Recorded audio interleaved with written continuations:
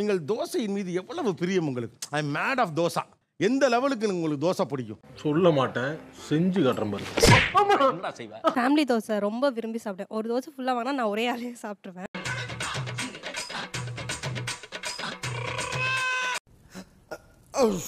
ரீசெண்டாக அம்மா போகும்போது வாடிப்பட்டியில் வந்து ஃபேமிலி தோசை கொடுக்குறாங்க அப்படின்னு சொன்னாங்க. அதுக்காண்டி இங்கேருந்து போனோம் பாண்டிச்சேரியிலேருந்து. இது பாண்டிச்சேரியிலேருந்து மதுரைக்கா? என்ன ஒரு புத்திசாலித்தனம். எனக்கு வந்து அந்த தோசை எவ்வளோ பிடிக்கும்னா இன்னும் ஒரு ஃபைவ் ஸ்டார் ஹோட்டலோ அந்த மாதிரி போனால் கூட அங்கே நிறைய டிஷ்ஷஸ் இருக்கும். ஆலு கோபி சில்லி கோபி பன்னீர் பட்டர் மசாலா பாலக் பன்னீர் போதும் போதும். எக்கச்சக்கமாக புதுசு புதுசாக டிஷ்ஷஸ் இருக்கும். இருந்தாலுமே அந்த தோசை கார்னர் போனால் எனக்கு அது ரொம்ப ஆசை. ஏன்னா ரொம்ப வருஷமா எனக்கு ஆசை இருந்தது. இந்த இடத்துக்கு வர்றதுக்கு. தோசை நம்ம டெய்லி வீட்டில் சாப்பிட்டா கூட எனக்கு அதை போயிட்டு டேஸ்ட் பண்ணிடணும். ஆ இவர் தாங்க தோசை ரசிகரே. ஏமா இப்படி தப்பு பண்றீங்களம்மா? பிரியாணினா ஒரு எமோஷன் சொல்றீங்க இல்லையா? என்ன கேட்டா தோசைனா ஒரு ரிலேஷன் சார் அடா அடா அடா அடா. என்ன டைலாக்டா ஏன்பா அசிஸ்டன்ட் டைரக்டர்ஸ் இந்த மாதிரி எழுத கத்துக்கங்கப்பா தோசையால எனக்கு நிறைய ரிலேஷன்ஸ் கிடைச்சிருக்கு. தோசைக்காகவே நான் ரிலேஷன்ஷிப் பண்ணியிருக்கேன் நிறைய பேர் கூட. இப்போ நெய்பர்ஸ் எல்லாம் தமிழ் ஆளுங்க இருப்பாங்க. ஸோ நாமெல்லாம் அங்கே போய் நின்னா அவங்க வீட்ல இருந்து வாசனையா தோசை வாசனை வரும். நம்மளுக்கு அந்த அளவுக்கு தோசை வராது. நம்ம அம்மாக்கும் வராது.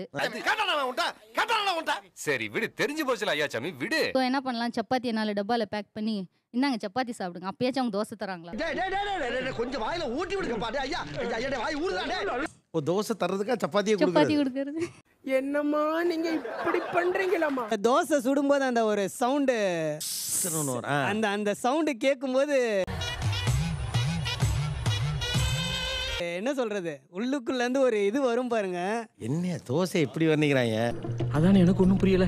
பேசாம ஆமான்ற வேண்டியதான் ஆமா ரெண்டு லட்சம் தான் சார். தோசை வந்து ஒரு நாள் சாப்பிடலாம் சார். ரெண்டு நாள் சாப்பிடலாம். ஆனால் ஃபுல்லாக தோசையே சாப்பிட்டா காலையிலயும் தோசை நைட்டும் தோசை.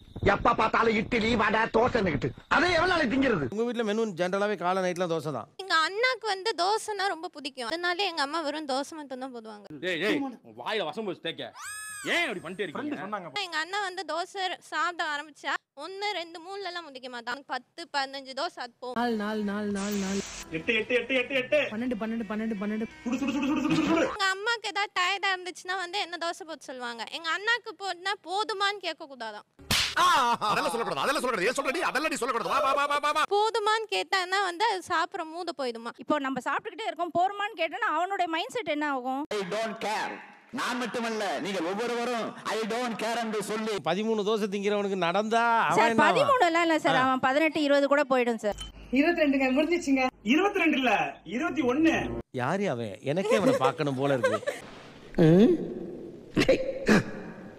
ஏன் இப்படி பாக்குறாரு இந்த தோசை அவனுக்கு முறுமுறுலா இருந்தா பிடிக்கும். ஃபர்ஸ்ட் ஒரு நாலு தோசை முறுமுறுலா. அது எப்படி சாப்பிடுவான்னா ஃபர்ஸ்ட் மிளகா பொடி வச்சு சாப்பிடுவோம் இல்ல புரியல.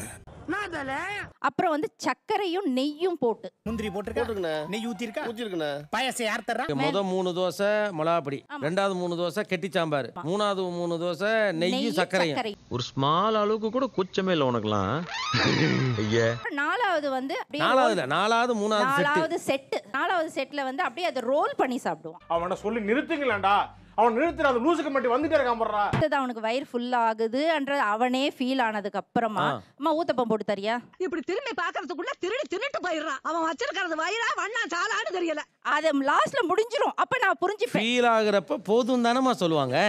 சி அதுதான் பிரச்சனையே. என்ன பிரச்சனை? நான் நைன் ஓ கிளாக் தோசை போட உட்கார்ந்தேன்னா night ten thirty ten forty five eleven o'clock வரைக்கும் அந்த அடுப்பும் நானும் மட்டும் தான் இருப்போம். இவ்வளவு கஷ்டமா?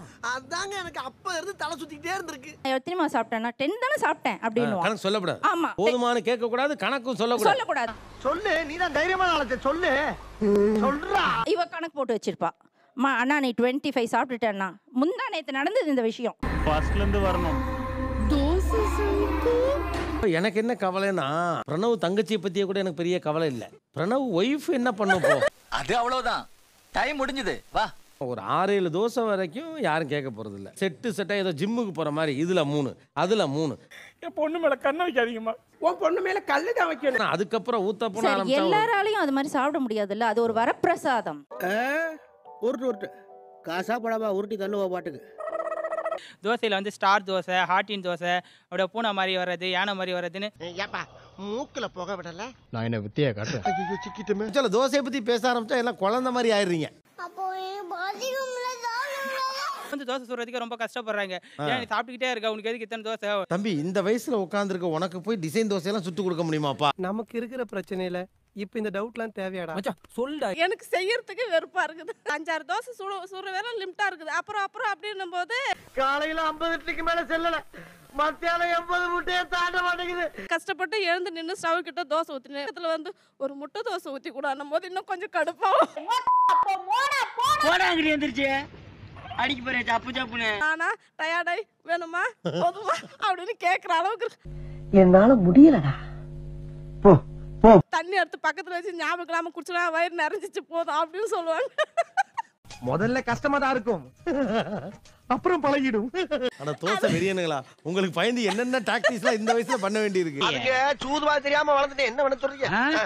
சூதுவாது தெரியாதா? மூணு தோசைகள் வைப்பேன். இது ஊத்தி அந்த பபுள்ஸ் எடுக்கல அடுத்த தோசை நான் ஊத்திடணும். எனக்குள்ள அந்த ஒரு காம்படிஷன் மாதிரி. ஐயோ மீண்டும் மீண்டுமா? அவங்க போதும்னு சொல்லக்கூடாது. அது அது வரைக்கும் நான் அடுத்தடுத்து உங்களுக்கு இருக்கணும். சலிக்காதா நிறைய தோசை ஊத்த? எனக்கு அது ரொம்ப பிடிக்கும். உனக்கு பிடிக்குமா? எனக்கும் பிடிக்கும். எத்தனை தோசைனா கணக்கெல்லாம் தெரியாது என் அந்த தம்பி- பையனை தத்தெடுத்துக்கிறீங்களா? என் தம்பி அப்படி இருந்தா சார் தம்பி அஞ்சு அஞ்சுல இருந்து மினிமம் டுவெல்ல இருந்து பிப்டீன் வரைக்கும் சாப்பிடுவான். என்னடா இவன் சோத்துக்கு செத்தவனா இருப்பானோ? அதுவும் சாம்பார் தேங்காய் சட்னி கருவாடு கூட்டு இதுக்கெல்லாம் செமையா அவன் சா அவன் அவன் கண்ட்ரோலே பண்ண முடியாது. பிஸ்கட்ல இருக்கு? எனக்கேவா? சொன்னா கேளு. சொன்னா கேளுடா. காலையில் எந்திரிச்சு நம்ம பிரேக்ஃபாஸ்ட் சாப்பிட வரும்போது தோசைன்னு உடனே மனசுல ஒரு பயங்கர ஒரு சந்தோஷமா இருக்கும் சார். டெய்லி அதே தோசை எங்க வீட்டில் வரும். ஆனால் டெய்லி அந்த தோசையை பார்க்கும்போது காலையில ஒரு அப்பா அப்படின்னு ஒரு தோ கடவுளே எத்தனை ஆண்டுகள் நைட்டும் சாப்பிடும்போது அந்த தோசை இருந்தாலே அன்னைக்கு அன்னைக்குள்ள நாளே ஒரு ஃபினிஷ் ஆனது மாதிரி ஒரு இப்படி தொடர்ந்து இது நடந்துட்டு இருக்கு ஏதாவது ஒண்ணு பாருங்க பார்த்து இதுக்கு தயவு செஞ்சு செய்யுங்கன்னு. திருப்தி கிடைக்குது சார் தோசையில. வேற எந்த ஃபுட்லையுமே கிடைக்கிறது இல்ல. கேட்டுக்க. ஒரு சாக்லேட் சிரப் ஊத்தி அது ஒரு சாக்லேட் தோசை அப்படின்னு சொல்றாங்க. ஒரு சீஸ் போட்டு அது வந்து ஒரு டெலிஷியஸ் சீஸ் தோசை அப்படின்னு சொல்றாங்க. இது டூ மச் இது டூ டூ மச் எது?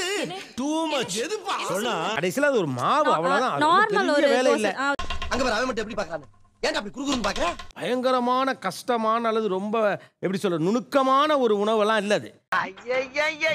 அடம் பிடிக்கிறிய நீ. தோசையில மட்டும் தான் பாத்தீங்கன்னா cheese dosa mushroom dosa paneer cheese dosa. தோசைன்றது ஒரு பேட்டர்ல எதையோ ஒரு மிக்ஸ் பண்ணி அவங்க வந்து ஒரு ஓவர் எக்ஸாக்டடா காட்டுறனால எப்ப பார்த்தாலும் எனக்கு தடங்களாவே இருந்துகிட்டு இருக்க. இதுக்கு மேல ஒரு வார்த்தை நீ பேச இது வந்து ரொம்ப ஈஸியா பரவிடுச்சு எல்லாருக்குமே. ஓகே அதனால வந்து பார்த்தா ட்ரை பண்ணணும்னு தோணுது. ஆனா ஜஸ்ட் ஒரு பேட்டர் தான் அது. லைக் பண்ணுங்க ஷேர் பண்ணுங்க சப்ஸ்கிரைப் பண்ணுங்க. மறக்காம கீழே இருக்கிற பெல்ல ஒரு தட்டு தட்டுங்க.